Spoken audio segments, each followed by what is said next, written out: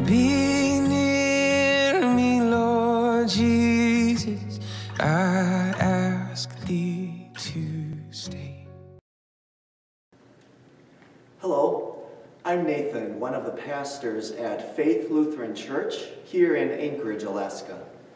Welcome to our series of daily devotions for Advent 2020 Be Near Me, Lord Jesus.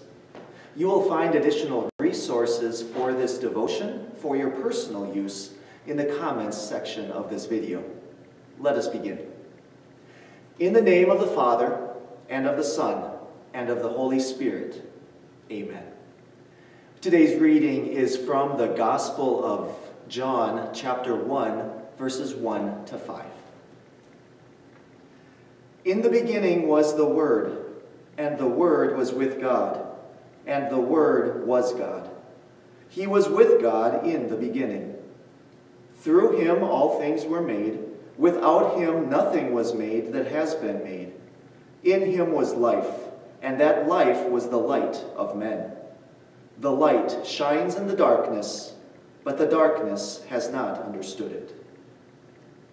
This is God's Word.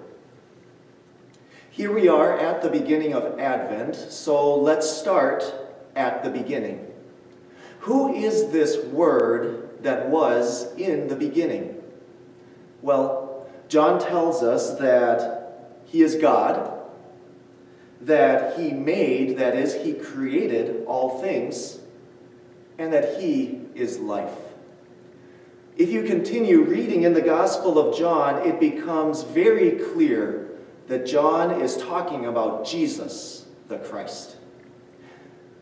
The season of Advent serves to prepare us to celebrate the birth of the Word, our Christ.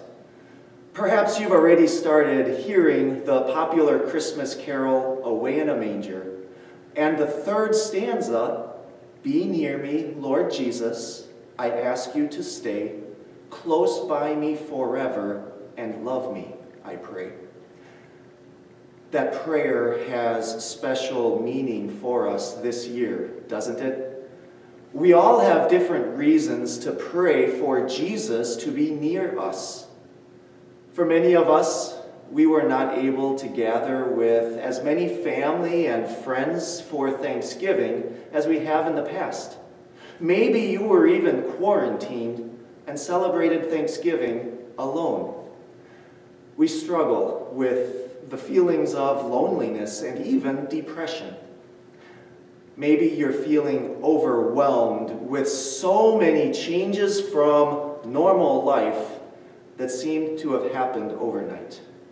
Friends you haven't seen perhaps for months, children going to school at home, working at home, or working at work, but with new protocols to keep your physical contact with other people to a minimum. Maybe you are struggling with anxiety, worried about your health, afraid of what other unexpected changes lie right around the corner in the future. We cry out for help because we see how helpless we are. We live in an imperfect world, even though the Word created the world perfect to begin with. Mankind sinned against the Creator and you and I continue to sin daily. And so, we have to deal with the consequences of sin sadness, separation, fear, and yes, even death. In the end, that's at the heart and core of why we need help. We cry out, Be near me, Lord Jesus. Help me and he does. The eternal, timeless Word entered time to help us. The one who is the creator of all things came into his creation to be near the created. The one who is life died. He died for you and for me, taking our sin upon himself on the cross, that we can have life, real life, eternal life, in him and with him in heaven.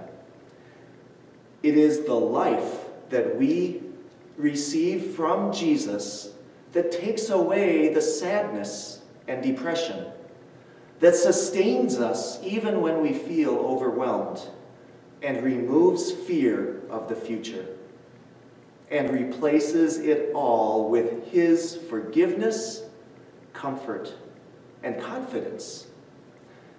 As we begin this Advent together, pray with me, be near me, Lord Jesus, and hear the word as he answers the eternal word tell you, I am. Jesus is with you. He loves you, and he always will. Amen. Let us pray.